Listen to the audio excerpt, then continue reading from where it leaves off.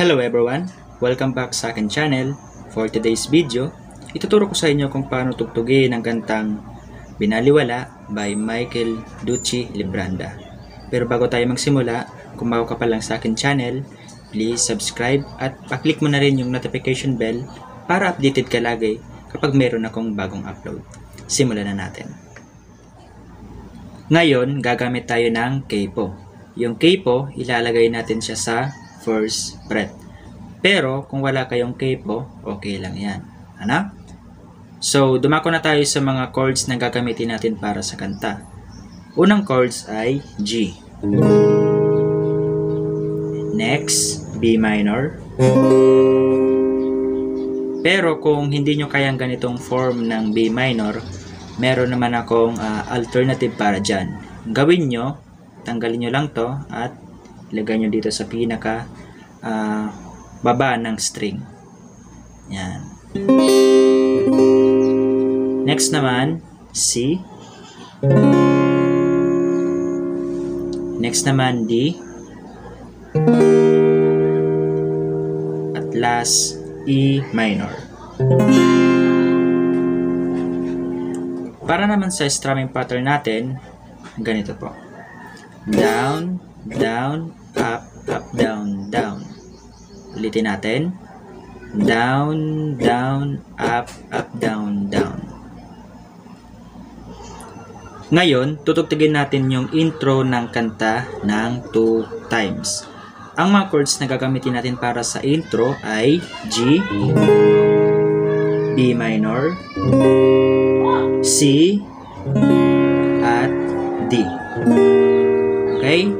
So, sabay-sabay tayo. 1, 2, 3, go! Down, down, up, up, down, down, down, down, up, up, down, down,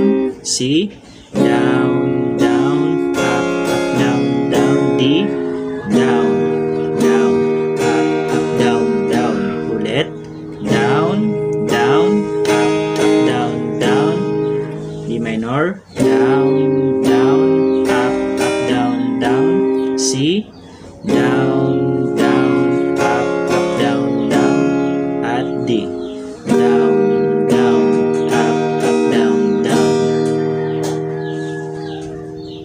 Ngayon, dumako na tayo sa verse 1 ng kanta. Same lang din yung gagamitin natin na chords at strumming pattern. Okay? So, sabayan nyo ko. 1, 2, 3, go! Ikaw na pala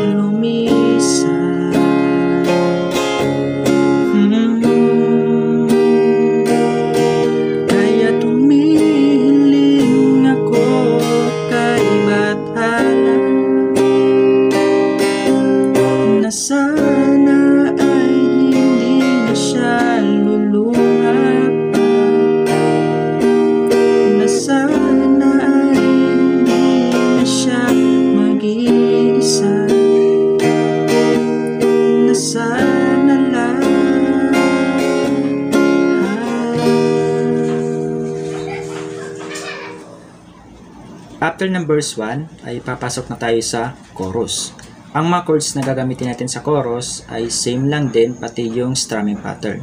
Ngayon sabayan natin tugtugin ang chorus. Okay? 1, 2, 3, go! Ingatan mo siya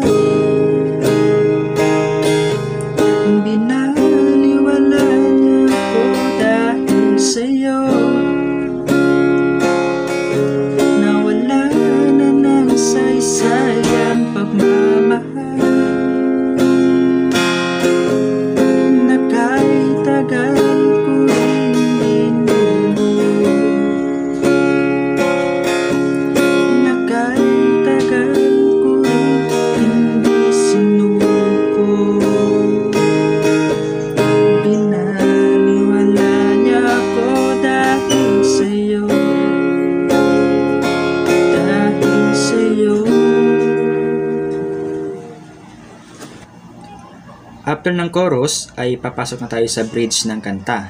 Ang mga chords na gagamitin natin para sa bridge ay E minor, D, C, at D ulit. Okay? So, sabayan nyo kung tugtugin yung bridge. 1, 2, 3, go! Ito na muling awit na kanyang maririnig.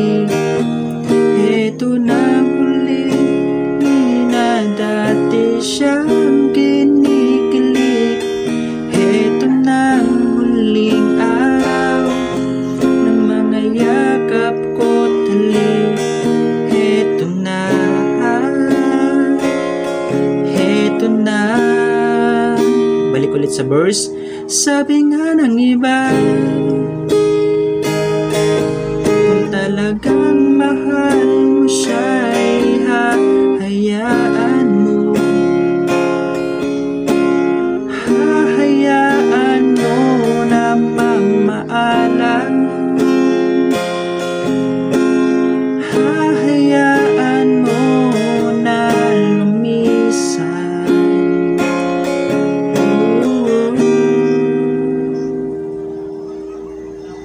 After nyan ay papasok naman tayo ulit sa ah, sa chor- sa chorus. Okay? So same lang yung chords na gagamitin natin at strumming pattern na gagamitin natin sa chorus. Okay? Ngayon ay dumako na tayo sa last part ng kanta. Ang mga chords na gagamitin natin dyan ay same lang din pati na rin yung strumming pattern. Okay? So sabayan nyo ako. Ikaw na pala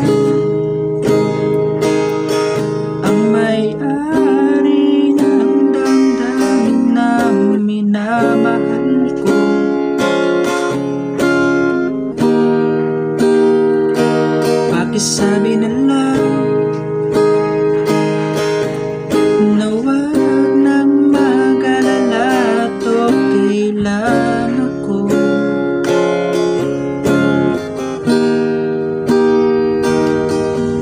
Ito na muling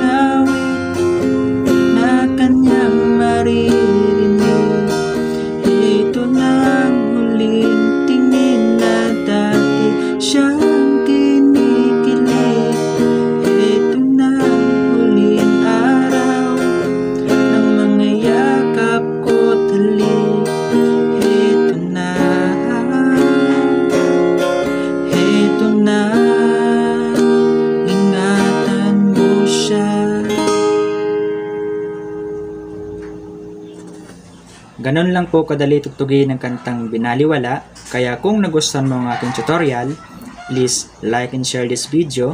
Maraming salamat po sa panonood and enjoy!